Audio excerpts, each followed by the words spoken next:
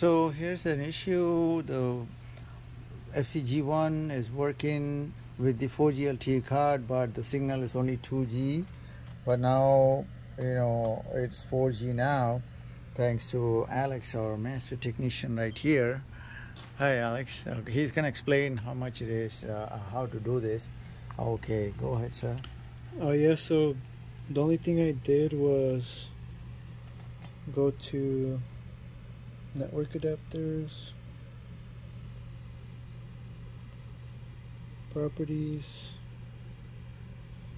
and then I set the preferred band to 5G. Uh-huh. And then I went cellular, let Windows keep me connected. So then it goes between 3G and 4G. Oh, okay.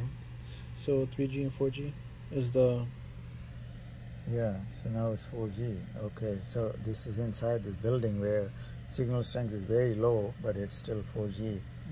Okay, that's that's very good. So if you click uh, somewhere here, okay.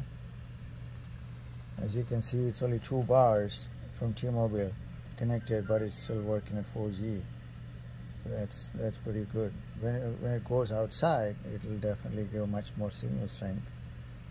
Okay, this is good information. Thank you, sir. Mhm.